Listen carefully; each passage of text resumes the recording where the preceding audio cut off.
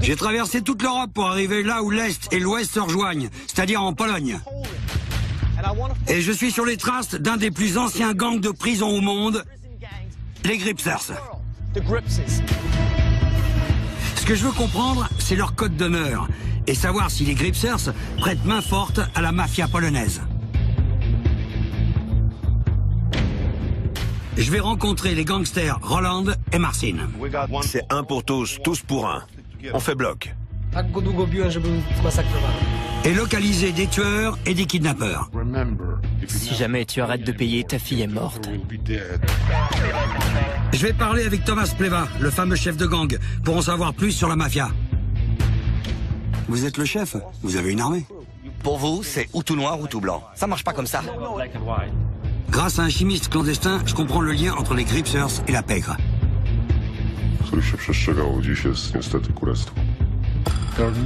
Personne ne peut les arrêter.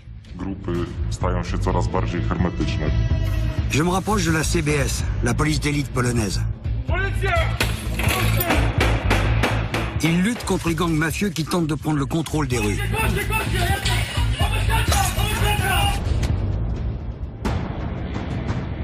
Je suis Lou Ferrante. Je faisais partie de la mafia new-yorkaise. J'ai fait gagner des millions à la famille Gambino. J'ai fini par me faire arrêter. J'ai passé huit ans et demi en prison. J'en ai profité pour m'instruire. J'ai compris mes erreurs et je me suis repenti. Maintenant, j'étudie la vie des gangs. Je vais percer les secrets les mieux gardés du crime organisé à travers le monde.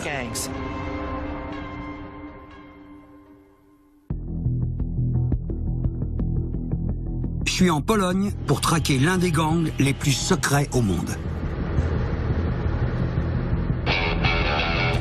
Quand j'étais en prison, on m'avait parlé des Gripsers.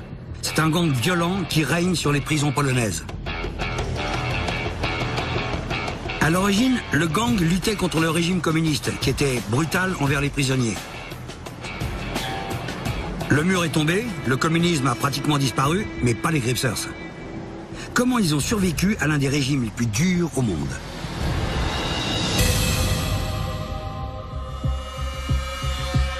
Mon voyage débute à Ravitch, dans l'ouest du pays. Cette prison est réputée pour être un bastion des Gripsers, alors je ne sais pas s'ils vont accepter de me parler.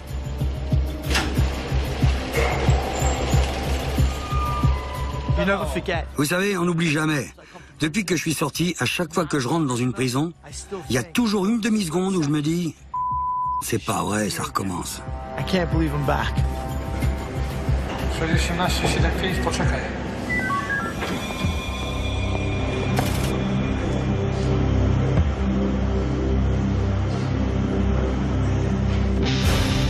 Partout dans le monde, c'est la même chose. Les mêmes visages, les mêmes groupes d'hommes qui tournent en rond. Mais ici, il y a quelque chose de différent. Je regarde dans la cour et je me dis, aux États-Unis, il y a un gang dans chaque coin et ils partagent le territoire.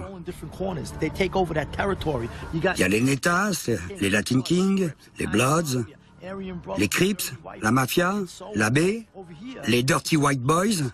Ici, il n'y a que des Polonais. Il n'y a qu'un seul gang, les Cripsers. C'est pour ça qu'ils sont si puissants. Ils peuvent retourner n'importe qui, comme ça. Gripsers vient de Gripsera, ceux qui parlent en code. Comme Léonard de Vinci, dans ses journaux secrets, les Gripsers ont une écriture codée. Les autorités peuvent pas le déchiffrer. Alors ils les séparent les uns des autres. S'il y a un grillage aussi fin aux fenêtres, c'est pas pour une question de sécurité. Non, non, non, c'est pour empêcher les membres du gang de communiquer en se passant des mots d'une cellule à l'autre, par l'extérieur. Sinon, un type peut très bien arriver à communiquer avec le gars dans une cellule à l'autre bout du bâtiment. Ils peuvent organiser une attaque, un échange de drogue, enfin ce qu'ils veulent. Aucun gangster veut me parler. Je vais visiter une cellule pour voir comment ils vivent. C'est la première fois que je vois un ascenseur dans une prison. La terrasse, s'il vous plaît. Merci.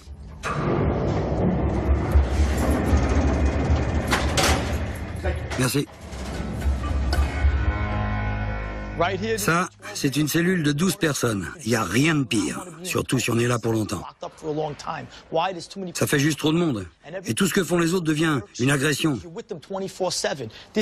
Il y a celui-là qui pète, celui qui ronfle, celui qui suce les dents, celui qui se lave les fesses une fois par semaine, je vous jure. Il y a de quoi vous rendre marteau. Alors on se crée un espace imaginaire à soi. Viens pas m'en chez moi, je suis chez moi. Si chacun respecte l'espace de l'autre, tout se passe bien. Pas de problème. Seulement si personne ne respecte rien, là, je vous jure, ça devient l'enfer. Mais c'est encore du luxe comparé à ce qu'enduraient les prisonniers sous le régime communiste. Quand ils étaient jusqu'à 40 par cellule. Ils étaient battus, torturés, mais ils se sont endurcis. Ils ont survécu en formant le gang des Gripsers.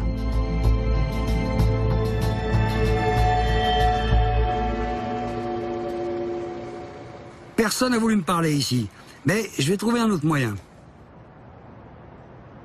Un gangster des rues, par exemple. Lui, il pourrait me mettre en lien avec les Gripsers.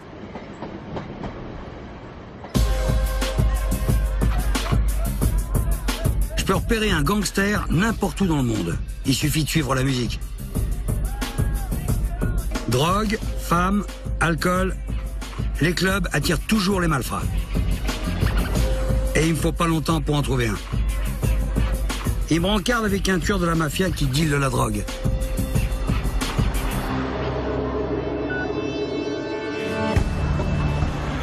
J'ai réussi à obtenir une entrevue avec un vrai chimiste.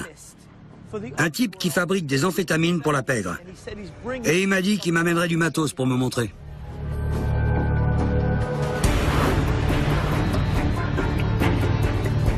On m'emmène en lieu sûr dans un quartier décrépit.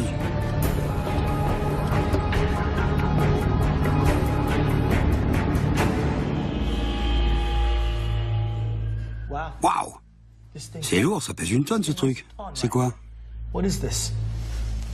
To waży około 3 kg. Jest to rtęć. To przetwarzamy na chlorek rtęci. Jest to półprodukt do wytworzenia metamfetaminy. Ta butelka wystarczy na wyprodukowanie około 140-150 kg dobrego towaru. Et combien ça représente W zależności od e, zakupującego. Gdzie idzie narkotyk, czy idzie na Polskę, czy idzie na kraje zachodnie. Et ça, ça vaut combien To jest produkt, który podbił po całą Europę polska amfetamina. Jedna z najlepszych. Jako koledze oddałbym ci to praktycznie za 300 dolarów. Na rynku po sprzedaży jest to około 5000 dolarów. Vous avez jamais pensé à tout arrêter? Pour vous, c'est à la vie ou à la mort. Ja miałem myśli też, przemyśliwałem swoje życie, ale ktoś to musi robić. Comme des croque-morts. Il en faut bien, c'est ça? Kocham to, co robię. Vous avez fait de la prison? Wiedziałem około 10 lat. Est en prison, vous êtes devenu gripseur Grypsowałem, zaprzestałem. Pourquoi Grypsuje się jedynie w więzieniu. Po wyjściu z więzienia zaprzestajemy. Jest to regułą. Dalej się trzymamy reguł i zasad, ale grypsujemy jedynie w więzieniach. C'est quoi les règles principales? Niestety musiałbyś iść do więzienia, żeby je poznać. Naszego w Polsce. Donc, les gripsers ne seraient actifs qu'en prison, mais resteraient proches les uns des autres une fois qu'ils sont libérés. Le chimiste fait passer le mot dans plusieurs prisons, alors les gangsters veulent bien me parler. Là, je vais enfin rencontrer les chefs de la pègre polonaise. Les gens le respectent. Ils savent qu'il a du pouvoir et de l'argent. Tu l'as tué à coups de poing? Tu n'iras nulle part tant que je n'aurai pas mon argent. Where is my money? Je m'apprête à rencontrer un gripseur pour la première fois. Je suis au milieu de nulle part en Pologne. Voici Piotrków Tribunalski. Des murs de 9 mètres de haut, des miradors. Je vous jure qu'ici on rigole pas.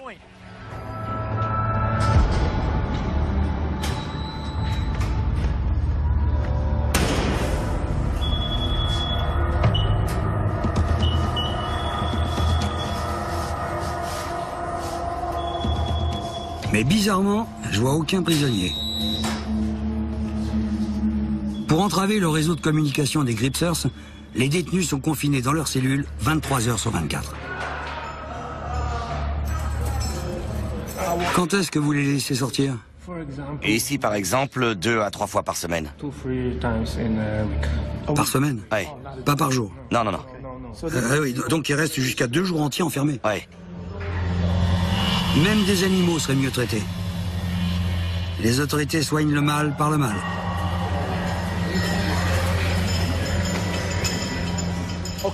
Quand j'arrive dans le bloc, je remarque tout de suite certaines choses. Ces portes sont faites pour empêcher les prisonniers de communiquer entre eux. Normalement, il y a une trappe ici pour les repas. Et une vitre ici. Mais là, impossible de rien se dire. Alors que normalement, ces deux-là passeraient leur journée à communiquer, à parler à travers la vitre ou la trappe. Ils feraient même passer des messages à tout l'étage. Ils pourraient tout organiser. Une révolte, un trafic de drogue, même depuis leur cellule. Seulement ici, rien à faire, pas moyen de communiquer.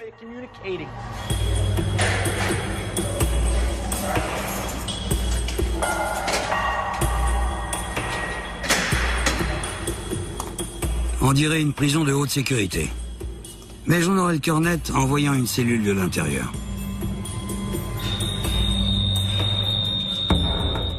Avec ces deux trucs au mur, je sais déjà que c'est pas le cas. Dans une prison de haute sécurité, il y aurait rien sur les murs. Tenez, derrière ça, on peut cacher des trucs. Ouais, d'ailleurs, c'est le cas. Avec une vis, on peut tuer quelqu'un. On peut la lui enfoncer dans le crâne. Il n'y aurait jamais ça dans une prison de haute sécurité. Ici, trois machettes. Ça se plie, ça s'aiguise, et bam, un coup dans le ventre. En prison, on appelle ça passer au fer. Quand on passe quelqu'un au fer, le métal, souvent, il est rouillé. Ce qui fait que le gars, s'il survit à ses blessures, il va mourir d'une infection. Regardez ça, tenez, regardez ça. Vous verrez jamais ça en QHS. Le chimiste a dû prévenir ses amis, mais personne se porte volontaire pour me parler. Entre-temps, j'apprends qu'un des chefs du gang veut bien me voir. Il est dans une autre prison.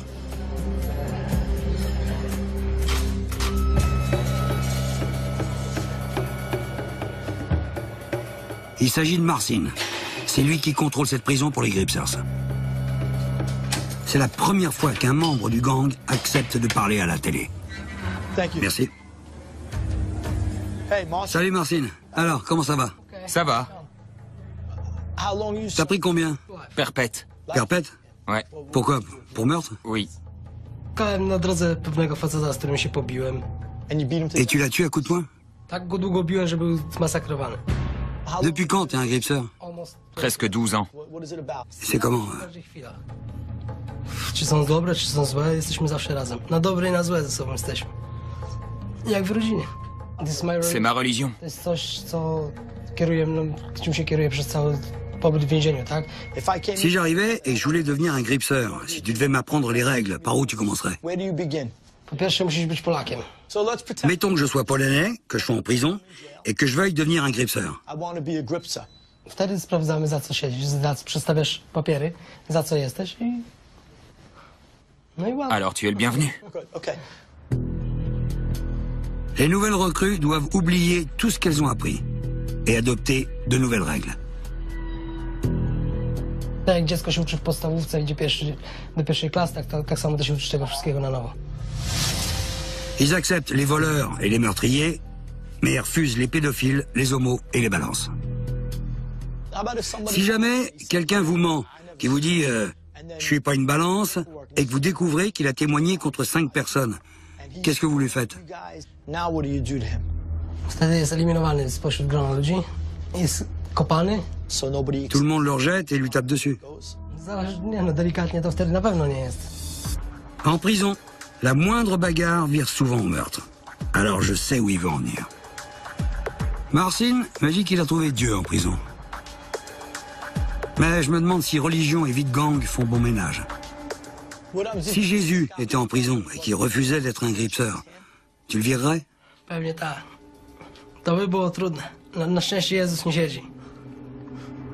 Non seulement Marcin m'a permis une première incursion dans le monde des gripseurs, mais il fait passer le message dans les autres prisons pour que je puisse aussi les rencontrer.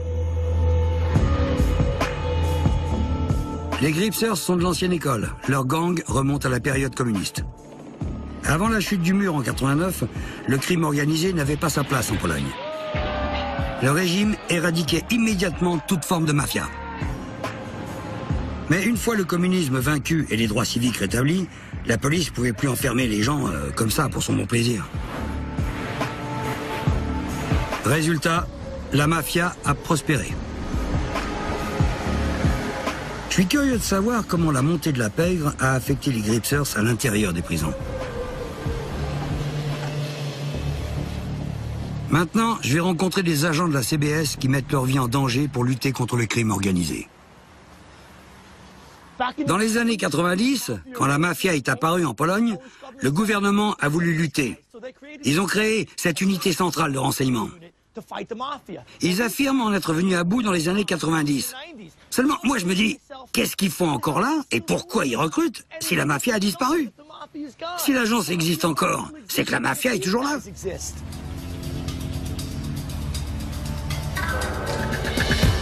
Je leur demande ce qui s'est passé en Pologne depuis la chute du communisme.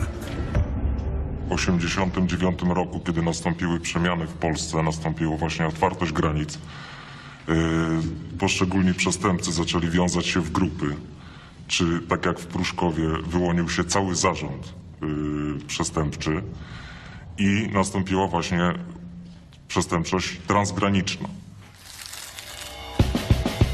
La mafia de Prouchkov réunissait quelques 8000 membres et elle brassait des millions et des millions chaque semaine.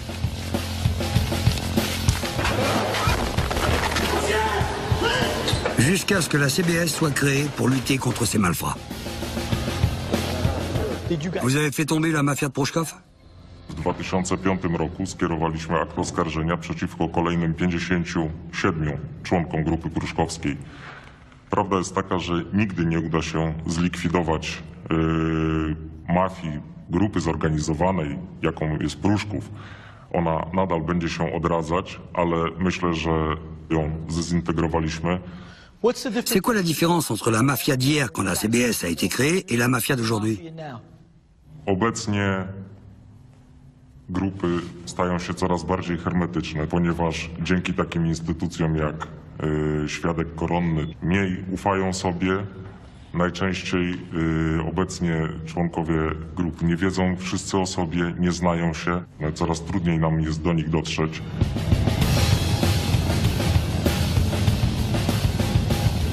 La CBS a réussi à faire tomber la mafia de Prouchkov, mais elle n'a pas agi seule. Je vais rencontrer l'homme qui les a aidés.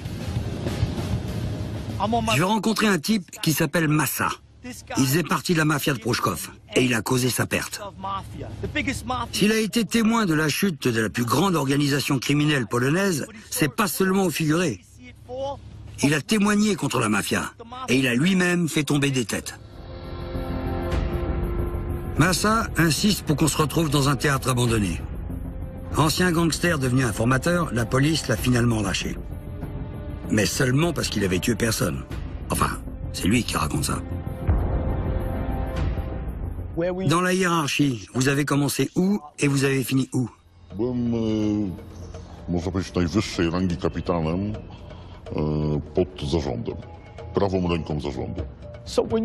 Quand vous avez témoigné contre la mafia de Prouchkov, euh, combien de types vous avez fait tomber Toute la famille euh, Seulement le chef Przypomniałem sobie przy prokuraturze, e, przy prokuratorze o 1750 ludziach, który, którzy pracowali dla mnie. Did you ever see Vous avez vu Redman Même lui, il n'aurait pas pu retenir autant de noms. Le procureur vous a forcément soufflé les noms tout au long du procès. C'est obligé. Która mi nie podawała, tylko ja mówiłem o strukturach. Z szeregu tablic, które mi okazywali, ja poznawałem tych ludzi. Ja oczywiście danych personalnych nie znałem ich, natomiast znałem ich twarze. Allez, plus on donne de noms et mieux on s'en sort. Et, et là, je vois que vous vous en êtes très bien sorti. Dites, je suis pas un bleu. hein. Combien d'hommes vous avez tués Ja absolutnie nikogo nie zabiłem, ani nikt e, nie zabił z mojego zlecenia. O tym decydował zarząd Pruszkowa. Mais vous étiez proche d'eux. À ce niveau-là, vous avez forcément dû entendre ou voir des choses. Tak, słyszałem, słyszałem o morderstwie. So when I Moi, quand j'étais dans la rue, si un mec disparaissait, je mouftais pas. J'avais rien à voir avec ça. Mais si on fait rien, c'est qu'on est au courant, c'est la règle. Et si on sait, c'est qu'on est impliqué. Même juste à demi-mot pour dire au type, euh, rejoins-moi là, et le mec se fait descendre. Donc vous étiez forcément au courant. Personne n'a essayé de vous descendre en sortant de prison? Nie, nie odważyli się. Ils ont pas osé parce que vous êtes un tueur. C'est pour ça, j'en suis sûr. Il y a qu'un tueur pour rester en vie après avoir vendu la moitié de la Pologne. Allez, sans rire. Ça se voit, je sais que vous êtes un tueur. Si Massa admet qu'il est un tueur, il remet en cause sa liberté. Seulement, il n'est pas stupide. Et ça explique pourquoi il est toujours vivant. Ce soir-là, je reçois un coup de fil. Marcin a prévenu un gangster dehors qui m'a organisé une rencontre avec l'un des chefs des Gripsers dans une des prisons les plus dures du pays. Ils peuvent rien contre nous. On fait bloc. Ça y est, je vais entrer dans le secret de ces gangsters.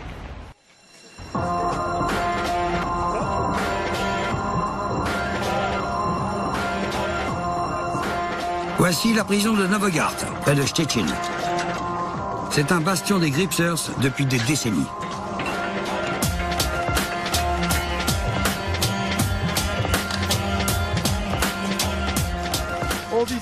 On dirait que ces hommes sont sur un bateau qui coule et qui nous regardent à travers les hublots. Ça, c'est sûrement le quartier de haute sécurité. Cette prison est très importante dans l'histoire du pays. La chute du communisme a entraîné beaucoup d'améliorations en Pologne, mais les prisonniers s'en sont sentis exclus. Alors les Gripsers ont organisé de violentes rébellions partout dans le pays, causant d'importantes pertes matérielles et humaines. À l'époque, le nom des Gripsers a fait le tour du monde.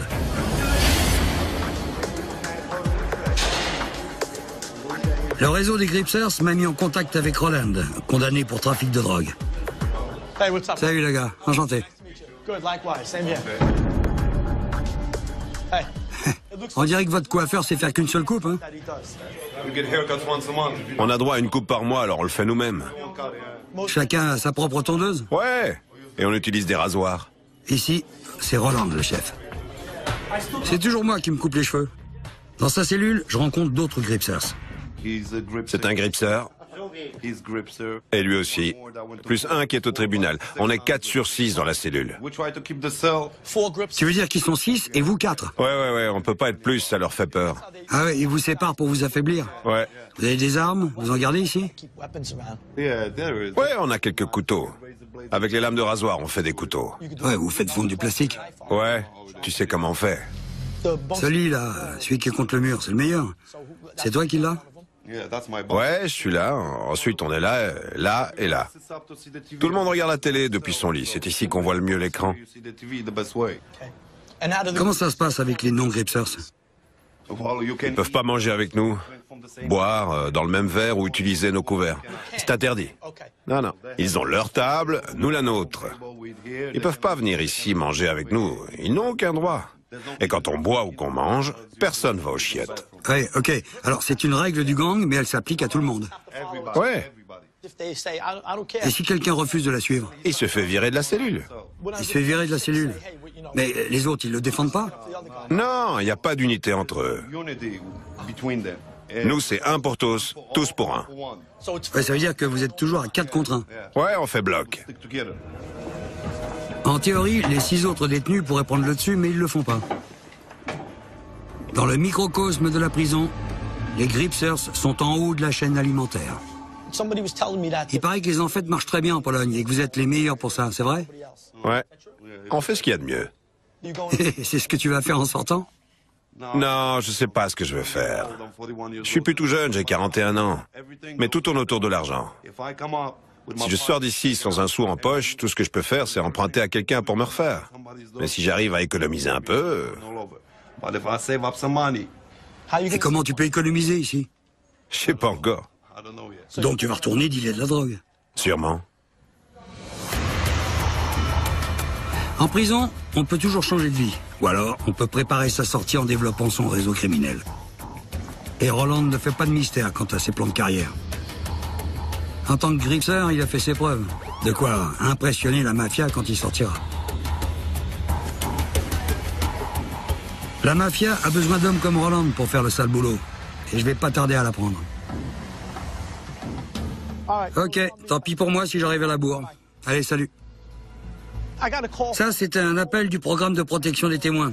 Ils vont m'arranger une rencontre avec un de leurs informateurs dans un lieu secret. Until the last 20 Ils vont me prévenir 20 minutes avant. Et je dois me débrouiller pour les rejoindre.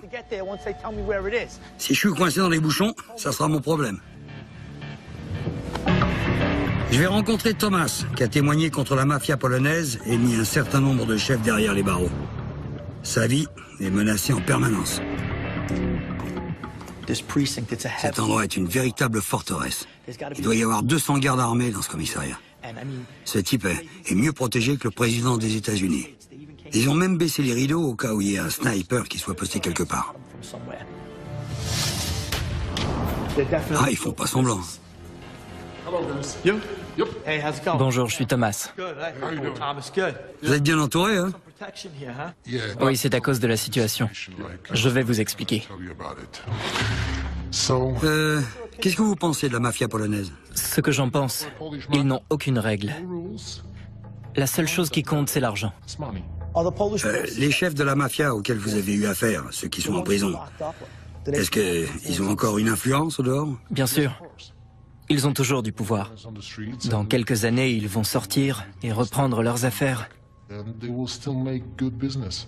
Ils ont toujours des gens qui travaillent pour eux. Ils sont trop puissants pour qu'on puisse les détruire. There are no people who can break it up. So how Vous avez fait tomber combien de personnes taken down? 40. 40 people. Ouais, environ 40. Why Pourquoi vous êtes devenu une balance? Qu'est-ce qui s'est passé? I just borrowed 5,000 zlotys. Je leur avais emprunté 5000 zloty.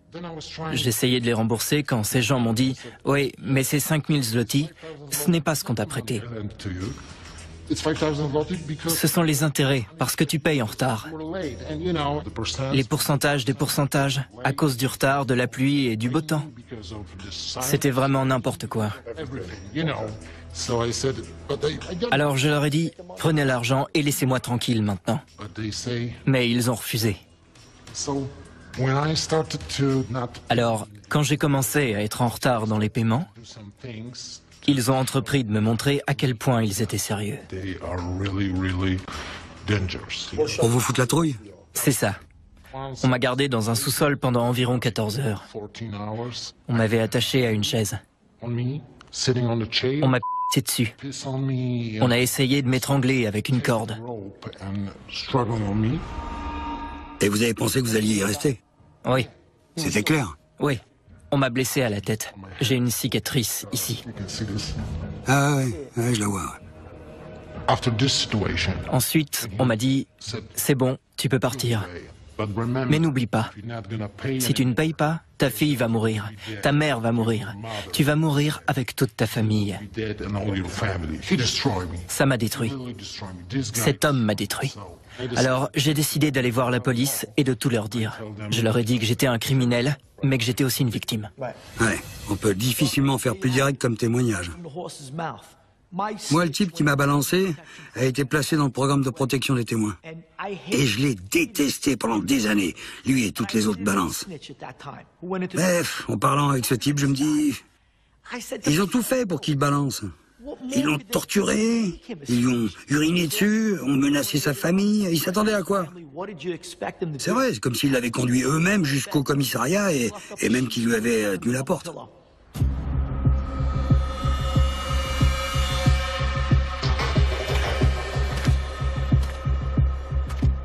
Je vais parler avec le gendarme que Thomas a mis derrière les barreaux. Les chefs de la mafia qui règnent sur les rues de Pologne. Une piste me fait revenir à Ravitch, la première prison qu'on a visitée. On m'a dit que c'était là que je trouverais l'homme qui a torturé Thomas. What are you doing? Vous êtes là pourquoi I got 15 J'ai pris 15 ans pour kidnapping. kidnapping, questionable. Je le conteste, mais j'ai été condamné. Alors il faut que j'assume. Eh, Le type est mort? Non, il n'a rien eu. Il est toujours en vie. Il n'a rien eu. Vous lui avez fait quoi exactement? On l'a effrayé. C'est-à-dire? On l'a emmené dans les bois. We show him uh, On a sorti des flingues a un tournevis uh, pour ses genoux, uh, pour euh, uh, euh, les perforer. Ah ouais, vous avez pris une visseuse électrique Oui, c'est ça. Ah, sympa. Je lui ai dit que j'allais le faire. C'est du beau boulot, hein Et vous l'avez mis en marche Bien sûr. Je l'ai monté. J'ai fait comme si j'allais l'utiliser, c'est ce que je lui ai dit. Et il a craché le morceau. Et vous avez pas eu besoin de le torturer Non, il m'a tout dit. Ah ouais. Et avec qui vous étiez à ce moment-là Avec des amis. Mon meilleur ami était mon associé. Et c'est quoi son nom Marcin, Martin en polonais. Ah, j'ai déjà entendu ce nom-là. We talked to a guy who said, uh, J'ai parlé avec un type qui a dit avoir été torturé par lui. Non, non, mais c'est vrai. Il m'a dit qu'il l'avait torturé. Yeah. Non, c'est une blague. C'est vrai. Non, je rigole pas. L'histoire est belle, mais... Mais elle est fausse. Ouais, mais enfin, il m'a montré sa tête et il m'a dit, c'est Marcine qui m'a fait ça. On l'avait quasiment scalpé. Say. Il m'a pas dit que c'était vous. Vous voyez qui c'est? Maintenant, oui. Alors allez-y. Allez-y, racontez-moi. Je vois qui c'est. C'est lui. Exactly. C'est un menteur professionnel. liar. Il me devait de l'argent. Pas beaucoup, mais suffisamment pour que je lui cours après. to chase him. But it was again Mais je vous l'ai dit tout à l'heure, il n'a jamais été question de dépasser les bornes. Jamais. We, we never wanted to cross the line. Okay. Never. Personne l'a torturé. Il était assis sur une chaise, on a chair. Uh, on l'a un peu secoué. we went a little bit rough with him. Secoué comment Des claques Non, non, non, non, non, peut-être juste une. Ouais. Mais je lui ai simplement dit, I don't let you tu n'iras nulle part until I know tant que je n'aurai pas mon argent. my money. I show him J'ai sorti quelques flingues. Type m'a dit qu'il était emballé dans du plastique, que Marcine lui a ouvert le crâne et que quelqu'un, euh, je sais pas, vous ou Marcine, euh, lui avait pissé dessus. Personne ne l'a torturé, croyez-moi. Enfin, c'est ce qu'il a dit. Non, c'est faux. Okay. Ah bon. Mais expliquez-moi, euh, pour moi, vous êtes le chef. Vous avez une armée. Non. Euh, euh, vendre des avions, prêter de l'argent, aller au casino, c'est la mafia. ce sont les affaires, c'est du commerce. En quoi c'est différent du commerce? Euh, La différence, c'est que vous comme moi, on violait la loi. Moi, j'ai arrêté, mais c'est ce qu'on faisait. Et, et- et c'est ça qui fait de nous des mafieux. Le PDG, c'est le Don, et on se fout des lois. Vous étiez pas un PDG, mais un chef de la mafia polonaise. Ah, admettez-le. Pour vous, c'est ou tout noir ou tout blanc, mais ça ne marche pas comme ça. Non, non, non, mais je sais bien, pour moi non plus, c'était pas comme ça. Si Jean Coin l'indique, les chefs de la mafia peuvent contrôler les rues depuis la prison. Et en sortant, ils reprendront les affaires là où ils les avaient laissées. Ils pensent qu'ils sont invincibles. Pourtant, il y a dix ans, la police a réussi à éliminer la mafia de Proskov. Alors je vais rejoindre la CBS pour voir comment ils combattent la pègre aujourd'hui.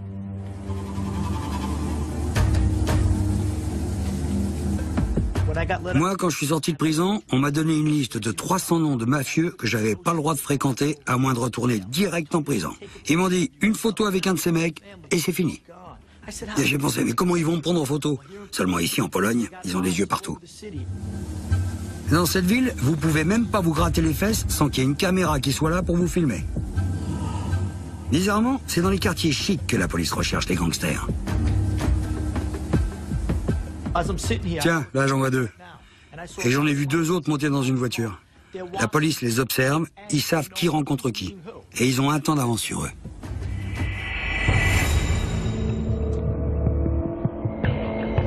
Pendant une patrouille, j'accompagne les flics sur le terrain. Partout où il y a la mafia, il y a une unité anti-mafia. C'est une vraie unité de combat ici. Les agents sont armés, fusils, 9 mm, matraques.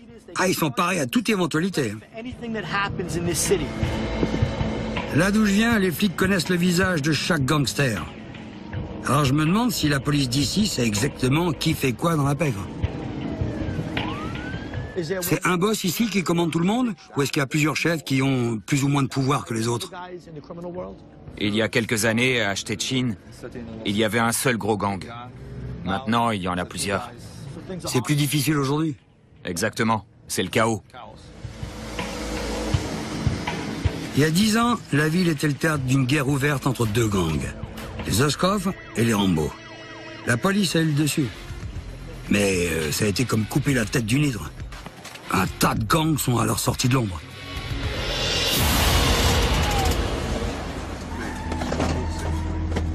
L'autre jour, je rencontre un chimiste qui fabrique des amphétamines pour la mafia polonaise. Et aujourd'hui, avec la police, je découvre les lieux de revente. Il y a beaucoup de trafic par ici et les agents me montrent le réseau de cachettes et de souterrains que les dealers utilisent pour s'enfuir. Les dealers ont abattu des murs et creusé des tunnels pour pouvoir se tirer en cas de descente. Forcément, ils sont déjà loin quand on arrive.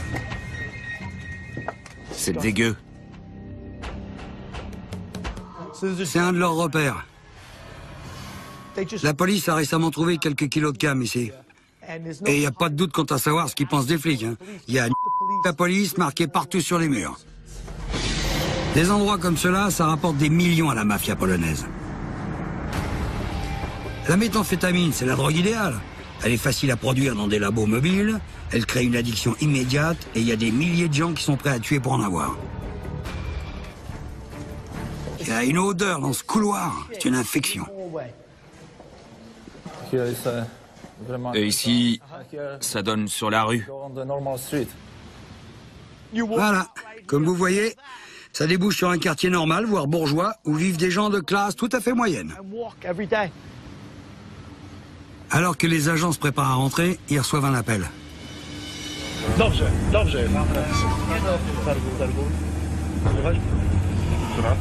Un des mafieux les plus recherchés du pays vient d'être opéré. Et là, il s'apprête à le cueillir chez lui.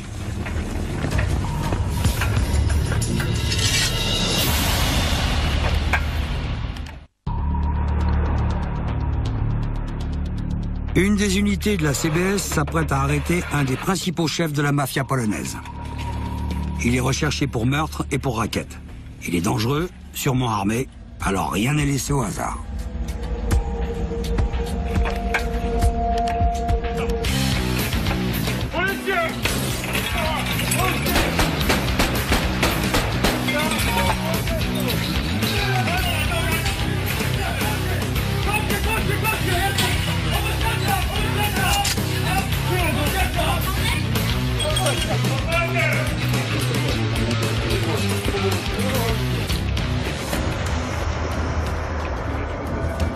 La descente est un succès. Je peux pas parler au suspect, il va être jugé. Quand il atterrira en prison, il aura besoin des Gripsers et d'un type solide comme Roland. Mais j'ai comme l'intuition que Roland a aussi besoin de lui.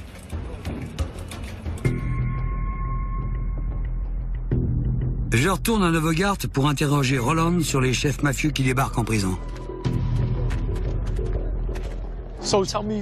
Quand un chef arrive ici, alors comment ça se passe?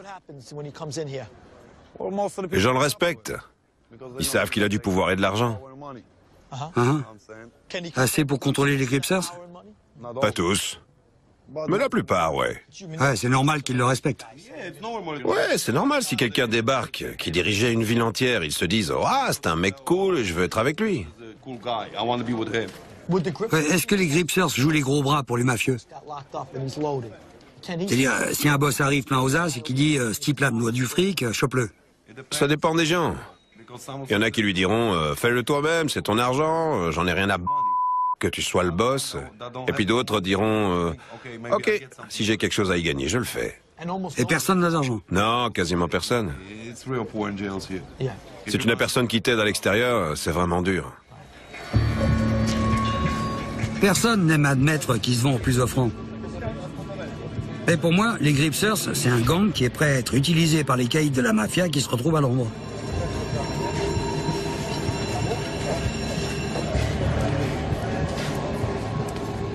Je vais vérifier ma théorie en la soumettant au porte-parole de la prison. Il travaillait ici depuis 20 ans. Dites-moi, euh, quand un chef mafieux débarque en prison, hein, qu'est-ce qui se passe?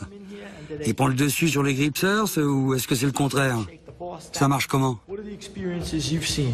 Ja sądzę, że w tej chwili większy wpływ będą mieli już mimo wszystko y, szefowie gangów. Jeżeli trafi do nas boss, ma większe szanse, żeby zostać e, przywódcą grypserki niż przy- przywódca gry, nic nie znaczący na wolności krzy- przywódca grypserki, żeby zostać y, kimś znaczącym w, świecie przestępczym na wolności. En prison, les Gripsers accueillent les mafieux dans leur rang, Et dans la rue, la mafia emploie les Gripsers quand ils sont libérés. Alors forcément, ils sont devenus une seule et même famille.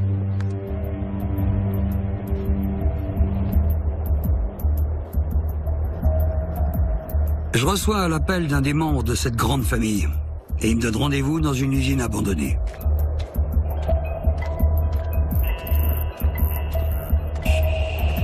Ça me dit rien qui vaille. J'ai l'impression d'être observé.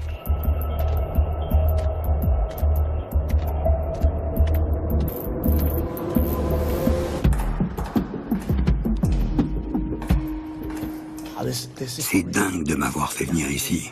C'est vrai, d'abord, c'est un fantôme. Il m'a jamais donné son nom, aucun détail. Et alors maintenant, il me donne rendez-vous dans un endroit qui a franchement l'air d'être hanté.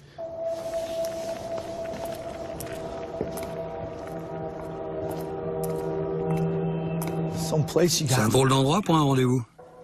Ça va Pas mal. Bien, bien. Alors vas-y, raconte. Qu'est-ce qui se passe dans les rues en ce moment? La police est beaucoup mieux organisée qu'auparavant. Alors c'est plus difficile. Plus difficile de leur échapper? Ouais, Ah ouais. Les chefs sont plus discrets? Ouais. Et vous êtes parfois violents? Oui, tout le temps. Il y a des affrontements entre les gangs, des chefs qui veulent plus d'argent et qui se battent pour les territoires. et, et alors dans ce cas-là, euh, vous utilisez des armes? On a des pistolets, des machettes, entre autres. Ok. Et la violence, vous l'utilisez quand? Tous les jours. Tous les jours? Ah ouais, ouais, c'est beaucoup quand même. C'est vrai. Et comment est-ce qu'on devient boss? Quand on vend le plus de drogue euh, Quand on est le plus violent? C'est une question de fric. Celui qui en a le plus, c'est le big boss. Alors l'argent est roi. C'est celui qui en a le plus qui commande. Oui, c'est ça. Ouais. Alors, quel pouvoir ont vraiment les big boss une fois qu'ils sont en prison? Le même pouvoir qu'à l'extérieur. et, et les premiers chefs de la mafia qui ont été arrêtés en Pologne, ils vont sortir bientôt? Ça prend du temps, quelques années. Et quand ils vont sortir, ils vont vouloir reprendre leur place. Alors ça va être chaud. Il y a eu quelques fusillades chez moi. Et vous pourriez y passer si jamais ils veulent récupérer leur territoire? C'est une possibilité? Oui, bien sûr, parce qu'ils n'ont pas changé. Ils continuent à penser comme dans les années 90.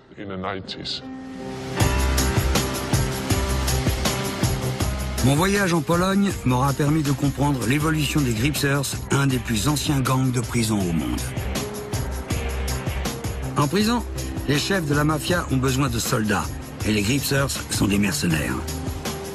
Quand ils sortiront, le climat risque d'être un peu tendu avec les nouveaux gangs qui apparaissent un peu partout dans le pays. En Pologne, la violence a encore de beaux jours devant elle.